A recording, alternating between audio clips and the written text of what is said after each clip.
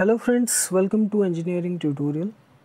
So we'll continue our discussion related to network theory and in the previous videos we discussed about Kirchhoff's laws, Kirchhoff's voltage law and Kirchhoff's current law and some uh, some questions related to it. So in the next series of videos we'll be focusing on the same KVL and KCL but it will be on circuits involving dependent sources that is dependent voltage and current sources. All the previous questions they were related to circuits involving independent sources, independent voltage and current sources. So this is the uh, question here, the first question. We have been given a circuit and uh, we have been asked to find these uh, currents I1 and I2 flowing through 3 ohm and 6 ohm resistors and this voltage V at this node. So as you can see this circuit it involves this dependent voltage uh, dependent current source voltage dependent current source okay which is dependent on this node voltage. So it is a current source dependent current source and the parameter is this voltage this node voltage on which it is dependent. So let us redraw the circuit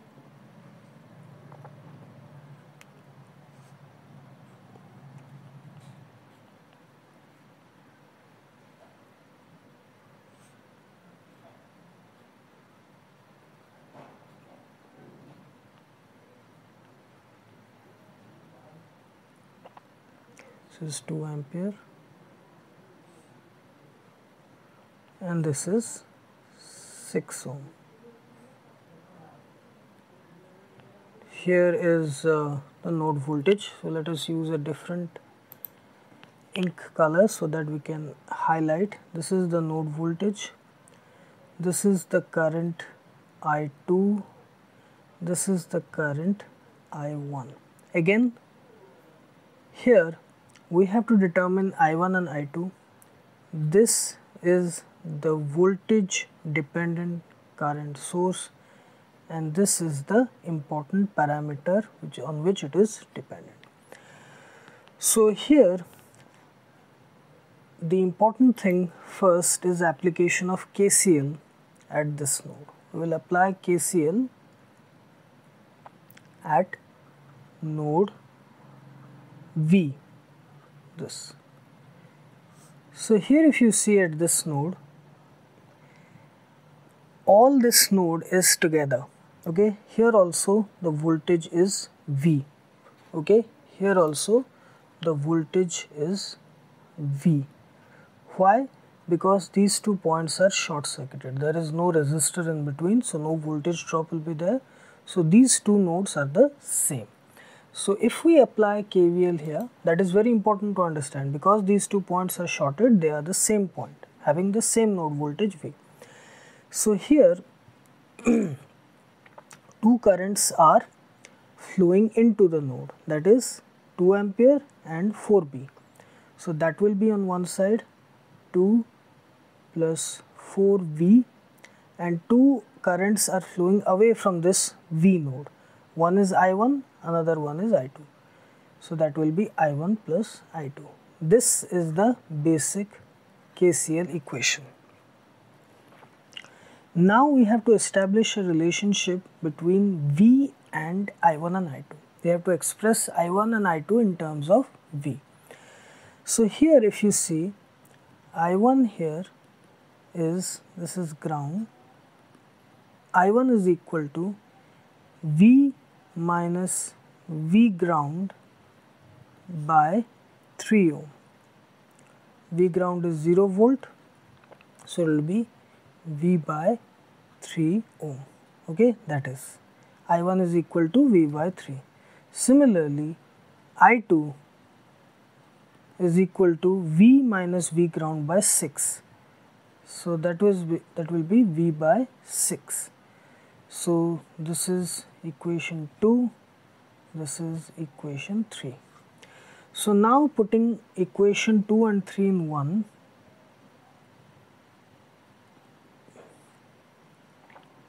two and three in one we get 2 plus 4b is equal to v by 6 plus v by 3 okay? Or v by 3 plus v by 6 that implies here v by 3 plus v by 6 minus 4b is equal to 2 we just brought 4b on to the right side or left side. Bringing all the v's on one side okay so now it will be 2v plus v minus 24v that is equal to 2 that implies minus 21v by 6 3 yes is equal to 2 that implies minus 21b is equal to 12 plus v is equal to minus 12 by 21 that is equal to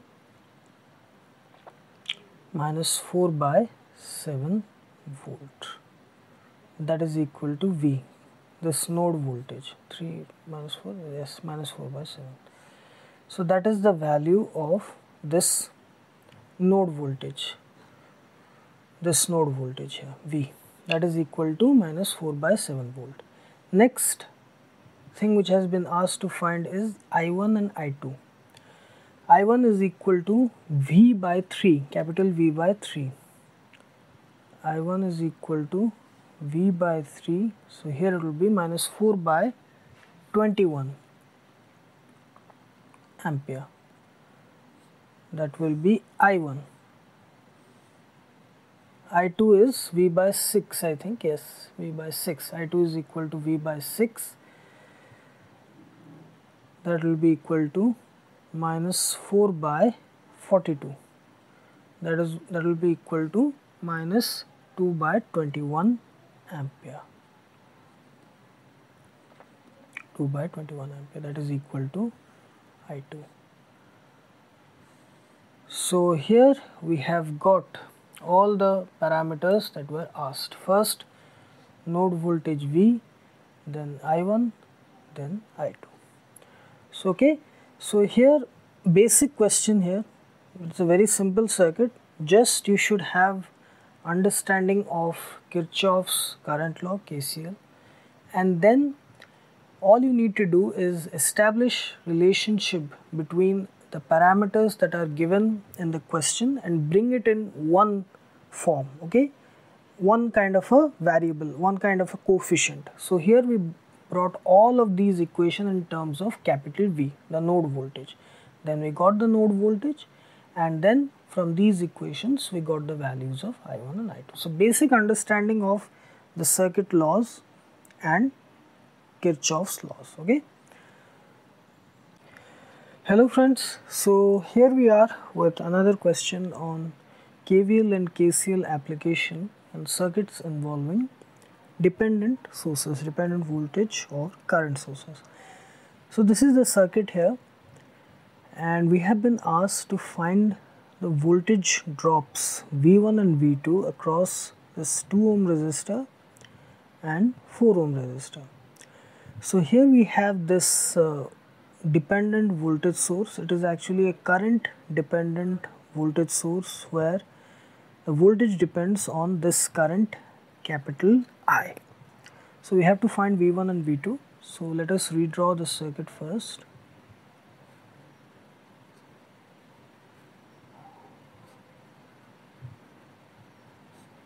okay this and this 6 volt I 2 ohm then minus plus 4i and this is 4 ohm. So here this is the voltage drop V1 this is the voltage drop V2 and this is the current dependent voltage source where this current is the important parameter. So here first we have to establish some important relationships. Here the voltage drop across this 2 ohm resistor is actually equal to 2I and the voltage drop across this 4 ohm resistor V2 is equal to 4I because it is a series circuit the same current flows through them. So now all we have to do is find the value of this capital I circuit current through application of KVL. So let us apply KVL in this closed loop. So when we apply KVL, the equation is we are using, uh, you can use any uh, type of KVL, the first sign dominating or second sign dominating method, it's up to you. I am using the second sign dominating method. So it is 6 minus V1 plus 4i minus V2 is equal to 0. Again, we have to bring the whole equation in terms of one, you know, one variable. So we will bring it in terms of i. So here we'll replace V1 with 2i plus 4i, V2 with 4i minus 4i that is equal to 0. 4i 4i gets cancelled. So we have 6 minus 2i is equal to 0 that implies 2i is equal to 6 that implies i is equal to 3 ampere. So we have got the value of i.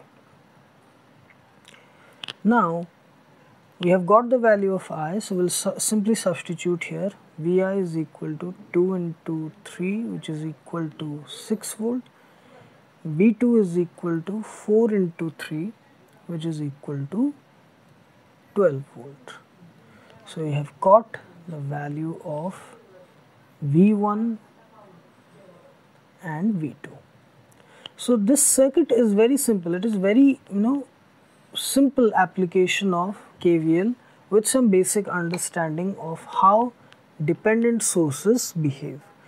So you have to bring all the equations in terms of one parameter, establish the relationship between the dependent parameter of the dependent source and other circuit uh, elements and then bring the equation in one form as we did here. We brought the entire KVL equation in terms of I and then we got the value of I and then it was just you know simple thing and we got the parameter that was asked here. V1 and V2 the voltage drops across 2 ohm and 4 ohm resistors. Okay